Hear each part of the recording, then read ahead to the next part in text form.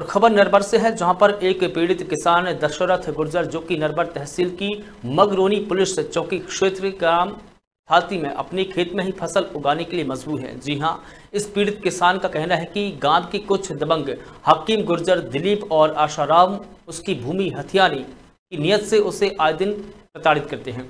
इतना ही नहीं, उसे खेत में जुताई करके फ़सल नहीं बोने दे रहे हैं। अगर किसी का ट्रैक्टर जुताई के लिए आता है तो गाली गलौज करके जाने से मारने की धमकी देते हैं। पीड़ित ने शिवपुरी कलेक्टर को जन सुनवाई में आवेदन देकर गुहार लगाई, लेकिन पीड़ित किसान की कोई भी सुनवाई नहीं की गई है।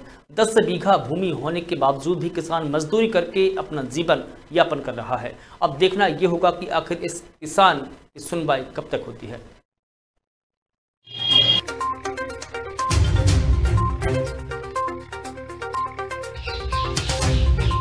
मेरी को सुनता नहीं है ज़मीन मेरी जू तन्नेरे नहीं है। मैं ये मीडिया वालों के माध्यम से कह चाह रहा हूँ तुमने कई किसानों की वो करेंगे तो किसानों की खर क्यों नहीं रहे सेम पे मतलब मदद क्यों नहीं कर रहे? मतलब तुम्हारी कोई सुनवाई नहीं नहीं कोई सुनवाई नहीं है। तो क्या है क्या पूरा मामला क्या है? पूरा मामला जाए मुझे ज़मीन नहीं करने रही। तो ज़मीन कौन नहीं करने देगा आक में आक में की मुड़ी मुड़ाए तो क्या इसके लिए वे शिकायत करी? शिकायत में जन सुनवाई में दिया कुछ नहीं हुआ। तहसील में दिलाई कुछ नहीं हुआ। चौकी पे दे कुछ नहीं हुआ आवे तक कुछ नहीं हुआ।